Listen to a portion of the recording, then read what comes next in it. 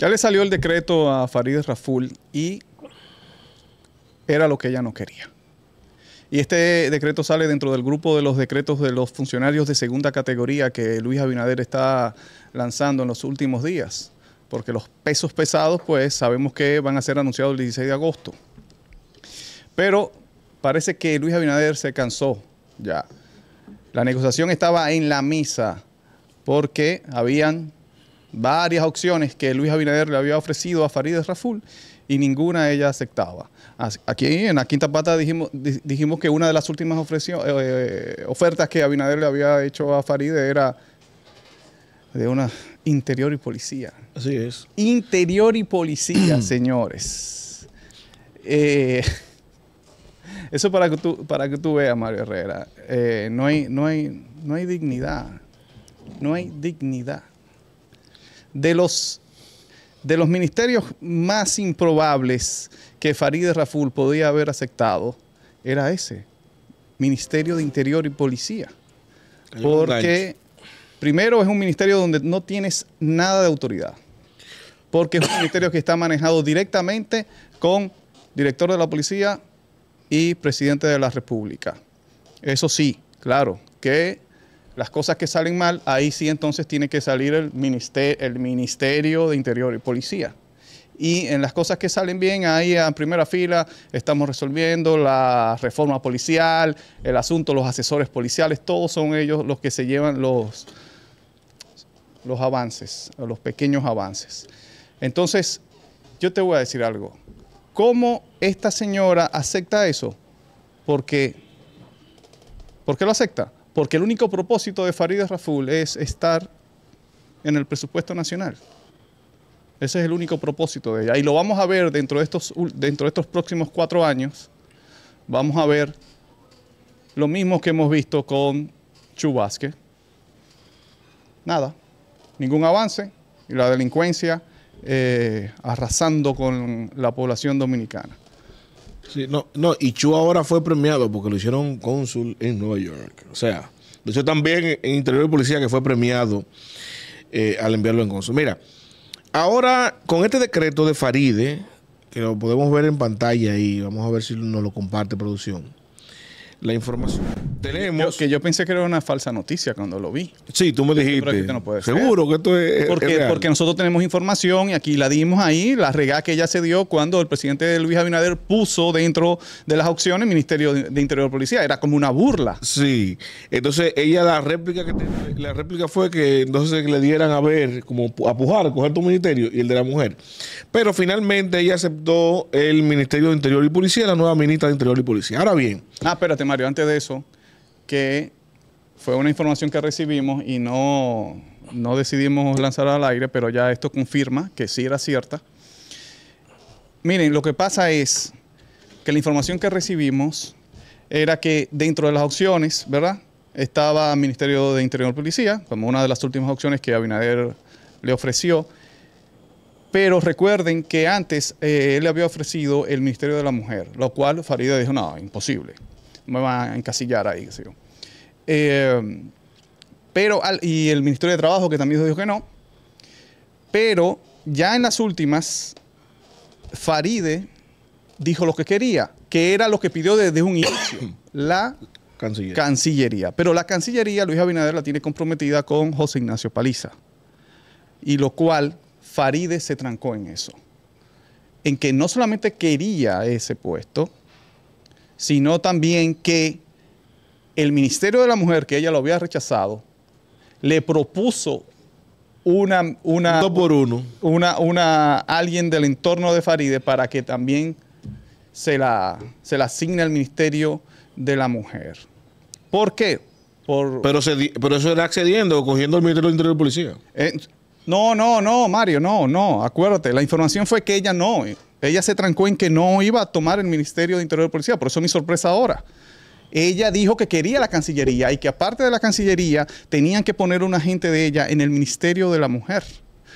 Y la, y la, ¿Por qué? Porque, y ya ahí tú tendrás tu reserva, pero eso con, con efectos retroactivos, lo del el Ministerio de la Mujer, porque a los senadores se les estila, a los senadores, se estila darle una dirección de dependiendo del perfil del senador, pero estamos hablando de que Farideh Raful, supuestamente en teoría, el perfil de ella era uno de los más altos perfiles del partido de gobierno.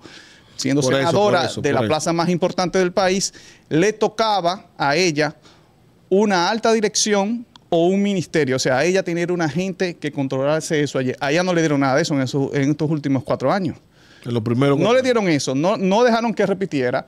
Y entonces ahora ella estaba exigiendo eso. Bueno, el Ministerio de la Mujer, no, yo no quiero ir para el Ministerio de la Mujer, pero sí me deben una, me deben un ministerio a mí de los, de los- de- del, del periodo pasado.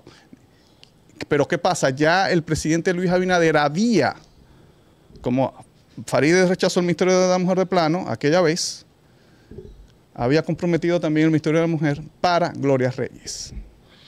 Sí, porque oye lo que pasa. Eh, de las opciones viables, independientemente de lo que ella exigió, eh, lo que yo manejo, Señores, toda esta información son informaciones que, bueno, Edwin no pudo estar hoy presente porque como esto es última eh, noticia de último minuto, pero todas estas informaciones que nos las compartió eh, Edwin Cruz las estamos discuti- discutiendo, en, pero en ese preciso momento salta la noticia ahora de, de que ya. Que yo no sé, cuando viene a ver el presidente Luis Abinader mandó, eh, publiquen el decreto y que ella entonces diga que no, que no lo quiere, que, que diga que no, que, que, que- eso no es así. No dudes tú, no dudes tú eso, ¿ah? no sé, imagínate, habría que, ver- habría que ver. Te lo digo porque la información que, que nos dio Edwin Cruz aquí es que hubo, hubo una fuerte discusión allí y que todo lucía de que ella no, no, o sea, de plano rechazó eso. Y ahora la pu- publican la- el asunto. Como quien dice, puede ser bueno, tú tienes valor, dale, ya estás, estás nombrada como, minis- como ministra, di, di que no. Ya. Bien, como decía, tú sabes que ella, eh, de las opciones alternativas que le había puesto el presidente Abinader, era que fuera la ministra de Trabajo. Esa fue la, más, la que estaba más disponible ante la negativa, evidentemente, de ir al Ministerio de la Mujer. Y Farideh rechazó eso de plano. Y el presidente, tratando de complacerla como plan B, entonces le ofreció el Ministerio de Interior y Policía. Yo dije, a raíz de eso, o sea, inmediatamente después de eso fue que Farideh realizó su discurso de despedida en el Congreso Nacional, allá en el Senado.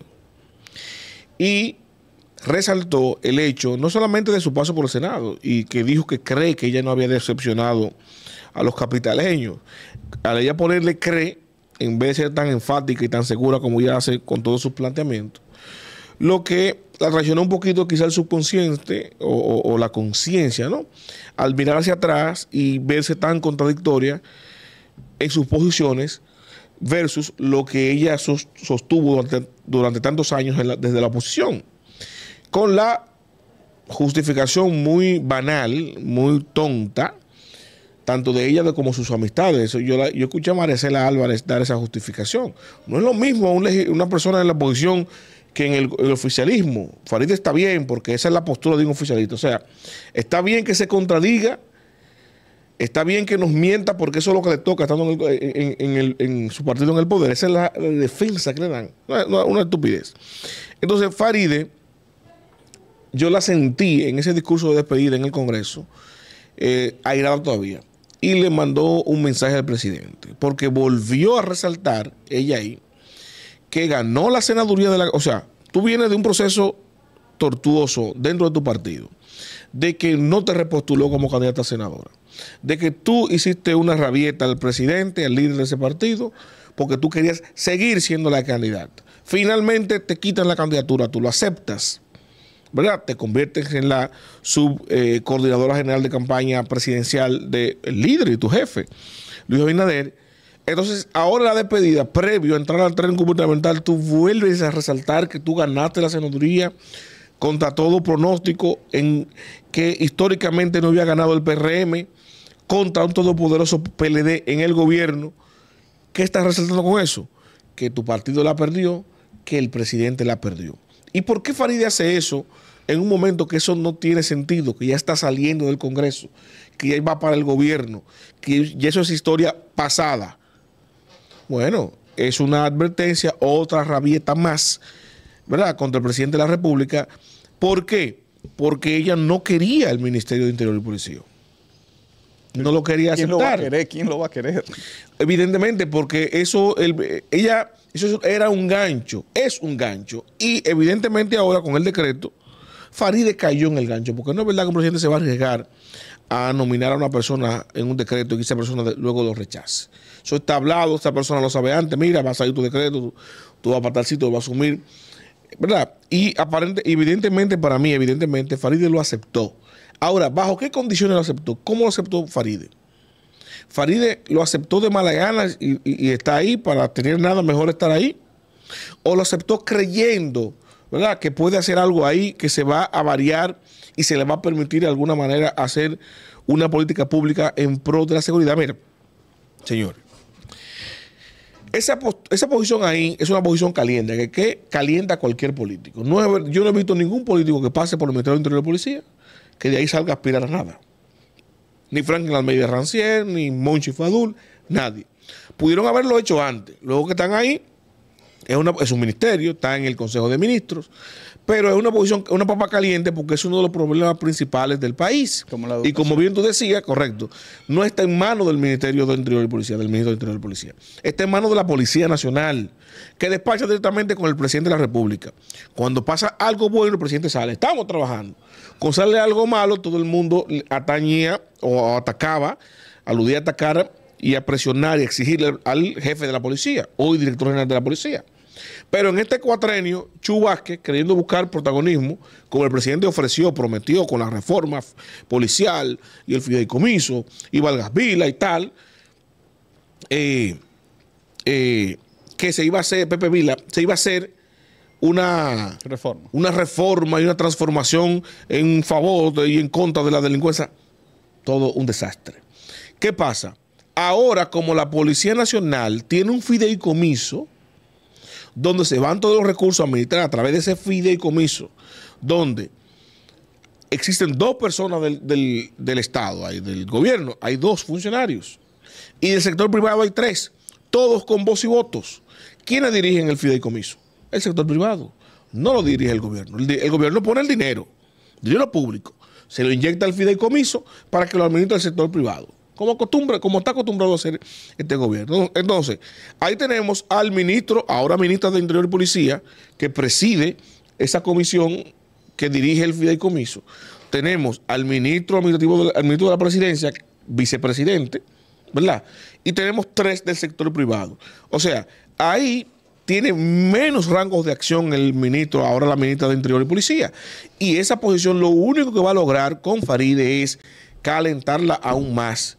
Porque ahora, anótenlo ahora, a partir de hoy, todo el problema de la inseguridad de la República Dominicana va a recaer sobre los hombros de Faride, sobre la incompetencia de Faride de no lograr mermar o reducir la violencia, eh, la delincuencia en el país. Así como se calentó Chu, así como Chu salió a hablar que tenemos este proyecto, que estamos haciendo esto, estamos combatiendo la delincuencia, y la gente no lo percibía, no lo veía, sino que al contrario, veía como la delincuencia crecía más, como el crimen organizado crece más, como la gente está más insegura, como hay más muertes por cada 100 mil habitantes, aunque maquillen la- la- las estadísticas.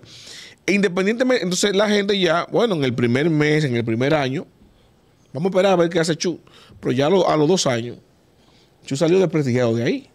Desprestigiado ante la sociedad, obviamente. Con el presidente está frío. Lo hicieron cónsul en, Nueva York. Ahora, ¿cómo va a salir Faride de ahí dentro de dos años, cuatro años, tres años, cuatro años? Para mí, el presidente lo que hizo aquí con Faride fue lo mismo que hizo con Hito. Lo metió en una posición para que se, para que se queme. A Faride, él la terminó de quemar ahí. Bueno, váyase para el Ministerio de Interior y Policía. Salió de Faride. Faride en el 28 no puede inventar, no puede ni siquiera soñar con poder prender un proyecto con una candidatura a nada, ni siquiera a la senaduría. Mucho menos una, una- candidatura más allá de la senaduría, que lo que se estila es un proyecto presidencial. Ella no lo dice ahora, no lo estén hablando ahora, pero más allá del 28, olvídate que ella estará montando un- una, una estructura para un proyecto presidencial encabezado por Faride, que se aseguró el presidente ahora nombrándole al Ministerio de Interior y Policía que no va a ser para el 28. Ya no tiene forma de salir de ahí del Ministerio, del Ministerio de Interior y Policía dentro de dos años, salir con una candidatura presidencial. Porque en dos años no es verdad que ella va a poder accionar para reducir la delincuencia, que es uno de los principales problemas que tiene la sociedad dominicana, según todas las estadísticas. Ahora bien, lo estoy hablando desde el punto de vista político, ¿verdad? La decisión del presidente de colocarla ahí en Interior Policía. Pero yo te preguntaba, Maracayo, te, te comentaba, ¿bajo qué condiciones Faride aceptó ser ministra de Interior y Policía? Sí, no quiso ser ministra de Trabajo, que pudo haberla mantenido quizá ni frío ni calor, pero pudo haberse enfriado por ahí. No aceptó Ministerio de, de, de Trabajo. Evidentemente no le van a dar el Ministerio de la, Mujer, porque le dieron el Interior de Policía, un ministerio supuestamente grande, ¿verdad? relevante. Y evidentemente paliza la desmontó de la Cancillería. Mire, ¿cómo que, cómo que usted va para Cancillería? Yo soy presidente del partido. Esta vaina por rango. ¡Pan! ¿Bajo qué condiciones Faride aceptó Interior y Policía? ¿Qué otra institución va a estar bajo el mando de Faride y de su estructura? ¿Mm? Entonces, yo pienso, yo pienso que Faride, al parecer, ¿verdad? pactó con el presidente alguna especie de acuerdo de inversión de apoyo económico eh, puntualmente para el tema de interior y policía. Yo no quiero creer que ahí veamos involucrado a José Luz con su propuesta de eh, seguridad perimetral, que él ha insistido tanto. Recuerda que José hizo una especie de acuerdo con el presidente para que ese, ese, esa propuesta, este proyecto de José, por lo menos un plan piloto se pueda implementar. Yo pienso que el momento es idóneo ahora. Faride, de los medios de comunicación, muy amiga de José La Luz, ministra de Interior y Policía, pudiera hacer una especie de sinergia con José ya para cumplirle a José por el apoyo que le dio a Luis Abinader y su reelección, de lanzar ese plan piloto de seguridad perimetral. ¿Y dónde va a ser? Entonces lo va a hacer Faride, pienso yo, en la capital en el Instituto Nacional, evidentemente. Vamos a ver, eh, ¿a qué más o menos el decreto, a la hora que estamos grabando ahora, uh -huh. fue publicado a qué hora más o menos? ¿Hace cuántas horas? Eso fue publicado. Horas, no, no, no. Once y media de la mañana. Once veinte de la mañana. Once veinte de la mañana. Estamos grabando ahora a una diez de la tarde. Y es uh -huh. precisamente ahora donde Farideh Raful en su cuenta de Turia reacciona. Ahora. Dos horas después. Un tiempo prudente, dices tú, ¿no? Eh, más o menos. Más o menos, ¿verdad? Porque tenemos medido los, los, los, mensajes de los que han nombrado el presidente ha sido casi inmediatamente. Pero bueno, dos horas tardó Faride en, escribir. Acepto el desafío, presidente, con humildad y conciencia patriótica. Afirmo ante el país el compromiso de avanzar el proceso de reforma policial. Ya empezó mal las políticas en defensa de nuestro territorio y el fomento de respeto y orden social en favor de la seguridad ciudadana. Gracias. Ya, ya tú, ya tú sabes en qué way va ella. Ella se ha, se ha adherido totalmente, totalmente al discurso eh, oficialista, al, al, políticamente correcto, ¿no? No ante la sociedad, sino ante la estructura política. Pienso que ella está de alguna manera enmendando eh, toda, todas, eh, todas las situaciones que, se, que ella vivió con el presidente Abinader por cuando ella quería seguir siendo senadora. Porque ella tuvo mucho encontronazos. Entonces, dentro del anillo del presidente Luis Abinader, ella, ella es vista como muy rebelde, como muy contestataria, como Yo no sé qué rebelde, porque de verdad uno, uno está en el pensamiento, Farid es rebelde, pero las acciones... No, se ha tragado todo, todo lo contrario. Se ha tragado es todo. la mujer más sumisa que yo he visto en la política dominicana. De hecho, habría que ver de los senadores que ha tenido Santo Domingo, creo que ha sido el político más sumiso que ha habido. Más sumiso. Y paradójicamente ella que lleva el discurso de la mujer empoderada, pero ¿Cuál mujer total, empoderada? Total. ¿Eh? No, porque ella, por ejemplo, hacia afuera, hacia afuera se vende así, pero al interno, que es donde está su espacio, que es el que ella tiene que estar batallando, ha sido totalmente... eh, wow. eh, No, no, saca la. Di, que Abdicar. senadores, por ejemplo, eh, Tomás, José Tomás Pérez, no, Dime. alcalde, tipo... que todavía, todavía hoy sigue. Reinaldo Párez Pérez. Sí, se le paró de pata a, a Danilo. Le dijo caprichoso, le dijo de todo, le dijo. le- de todo le dijo. Entonces, entonces si tú buscas, no, y, y busca eh, Milagro que ahora también peca de lo mismo que. O sea, Sí, yo no sé. Sí, pero, pero mi hermano. Entonces, yo, dándole la verde a, a Faride, el presidente tiene un encantamiento extraño, que no sé cuál es, y más con las mujeres, aparentemente. Menos con Faride. Un encantamiento, no, a Faride también la doblegó. No, Faride. eh, La doblegó. sí, la ha doblegado, pero. eso es, pero a lo que me refiero. Ella se ha quejado, tímidamente se ha quejado. Pero, eh, es lo que ha digo. llorado. Pero la doblegó, es lo, es lo que digo. Mira Doña Milagro cómo está. Doña Milagro se atrevió, ella, a salir atento a, a- a- a su reputación, a defender a un mano derecha del presidente, que era en su momento Macarrulla. Y bueno, hasta el ministro de la presidencia. Sí, Me la juego por el ministro de la y, de- y, se- y se- y- e hizo eso y ni se inmutó. Y luego de que pasó lo que pasó, sigue igualita, como que no ha pasado nada, y sigue defendiendo eh, su partido y su gobierno. O sea, no le importa, este es el mío. El malo, el más malo del mío es mejor que el mejor de ustedes. Y punto. O sea, ¿dónde está la coherencia de lo correcto? De la, ¿Me entiendes? O sea, tiró eso por la borda, doña Milagro, en la recta final de su vida política y, y- existencial. Imagínate, Faride. O sea, yo- para mí eso es algo loable del presidente de la República, hay que admitirlo. Es una persona que logra un consenso de una manera Lo hable no es la palabra. para él. Pero bueno, desde el punto de vista pragmático, político, para él hay que, hay que, admi- hay que admitir eso. Él lo habla del presidente. Coño, es, es algo extraordinario. El presidente de la República logra a la buena, a la mala o a la buena mala, ¿verdad? Consenso. O sea, no se doble el puño. Parece que antes de irse a la mala, mala, mala, mala con el presidente, ellos a la media mala flojan. Porque Luis ha demostrado que no se le doble el pulso para nada. Para nada. No se le doble el pulso para nada. Él te dice una cosa hoy, te dice otra mañana. Sin problema. Y no sin multa. Y, ¿me entiendes? Entonces, aparentemente, y también aquí estaba gente del medio. Ustedes, no me conviene, fuera. Mira a Macarrulla, que Macarrulla se le revolteó en el palacio, en el despacho, le dijo de todo, fuera. También. O sea, no, no, no guarda forma. O sea, si tú eres mi pana, mi, mi- mi mano derecha, fundamental, te equivocaste, te doy. Ahora, si eres del, del, del, te protege. Porque mira la diferencia de cómo el presidente eh, trató a Macarrulla versus cómo trató a Fulcar. A Fulcar lo protegió totalmente. Corrupto, eh, escándalo, tal, tal, tal, tal, tal. Venga, salga de ahí, minutos sin cartera. Tranquilo. Y todo el mundo arriba, pero háblame de esto, y los cuartos, y, y las tablets, y... Ajá, Fulcar. Tranquilo. De campaña, con toda la Tranquilo. información del mundo. Pero con que- todos los papeles de la, Pero Macarrulla era su de la financiero. financia. Ah, tú hiciste la finanza interna. En campaña, no, que ahí es y- donde está el dinero. Igual que, por eso ahí, ahí, ahí se enfrentó ese paliza, por eso paliza también está en el carril de adentro. Ah, claro. Porque el que está coordinando esa parte, a falta de, de Fulcar, eh, Paliza ha reemplazado esa, esa parte ahí. Pero es lo que te digo, él lo habla la capacidad de consenso que tiene el presidente de la República dentro de su estructura de su equipo, que él maneja todas las situaciones. Te repito, a la buena, a la mala, a la media buena o a la media mala.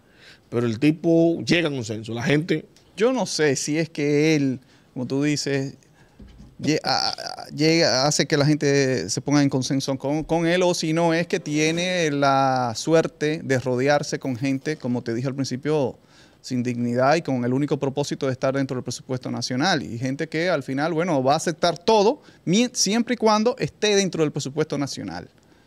Que yo creo que, que e- eso es lo que se está dando ahora. Porque, y yo digo, miren, Faride, y por eso te decía, la información que nos llegó fue un rotundo no a ese decreto de Faride, Raful. Un rotundo no. Y la información es reciente, señores. Mañana vamos a conversar más con Edwin Cruz, que tiene más detalles sobre eso. Entonces, estamos discutiendo eh, eh, y analizando las, las pruebas que nos, que, nos, que nos mandan para grabar ese corte y nos sorprenden con el decreto. Por eso que yo te digo, bueno, parece que Luis Abinader lanzó el decreto. y que ella entonces se encargue de, de decir si lo quiere o no. Coño, es que no, no creo que el presidente no se va a arriesgar. pero- ya, ya ella me ha dicho que sí. Pero ya ella, dos horas después, dice, acepto el desafío, señor presidente, con humildad y conciencia patriótica. Pero esto es el mismo escenario de que cuando se estaba discutiendo de yo soy la que voy, y todo el mundo sabía, información que no, bueno, información que nos llegó a nosotros y a todo el mundo, de que el presidente no la quería. Pero ella decía que sí, que era ella. Y recuerden ese, ese episodio donde ella llamó a la periodista que trabaja en Sol la mañana, Mariana, Mariana Núñez, María Elena Núñez, llorando. llorando. Que María Elena Núñez lo dijo, me llamó llorando, que la desconsideraron, que para el otro día ella con- decir prácticamente esto mismo. Gracias, presidente, estoy a su disposición. Y después grabar aquel video de que sonriendo de que yo no voy, que sé yo qué. y- Corriendo no, estaba llorando, se, se le Sí, veía pero- que, acababa- que pero tenía trataba- varias horas estaba llorando. tratando de actuar. Sí, estaba actuando. Entonces, eso me dice a mí que no es descabellado del que el presidente haya hecho. No, bueno, ah, no quiere, bueno. Públicame, públicame el decreto. A la mala otra vez, como eh, eh, mi- misoginia presidencial. Mira, oh, pero para contraste, Maracayo, que no quiero dejar de comentar esto, mira un tweet de Farid Raful del año 2021, no sé mucho. Hmm. Ya el PRM estaba en el gobierno. Cito. El problema de la Policía Nacional es estructural y de origen. Para transformarla hay que volverla prácticamente otra institución. Es el pensamiento de la nueva ministra de Interior y Policía. ¿Será coherente eso? ¿O se sumará a trabajar con la institución que prácticamente debería que transformar ahora codo a codo? Porque ya está transformada. Ella va, ella va a asumir que ya se transformó prácticamente en otra institución y va a trabajar codo a codo o va a impulsar desde el Ministerio de Interior y Policía una transformación profunda de la policía que tenemos hoy, la cual ella criticó en 2021. Veremos. Opinen ahí en los comentarios. Nosotros somos La Quinta Pata. Mario Herrera, José Maracayo. Comenta, comparte. Y sobre todo, queremos dar las gracias porque casi, casi arribamos a los 60 mil suscriptores. Hay personas allí que están desde el primer momento. Hay un seguidor que dice que es el seguidor número cero. Y nos está pidiendo que por favor le mandemos aunque sea una taza.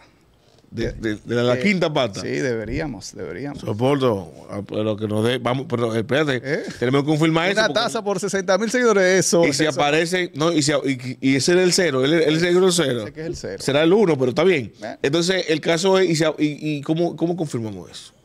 Y si aparecen 10 peleando. Bueno, vamos a hacer que sea 10 tazas. Mira, yo creo que puede ser cero, porque yo, yo recuerdo cuando grabamos el primer video, ninguno de nosotros, ni siquiera nosotros vimos el primer video de esto. Gracias.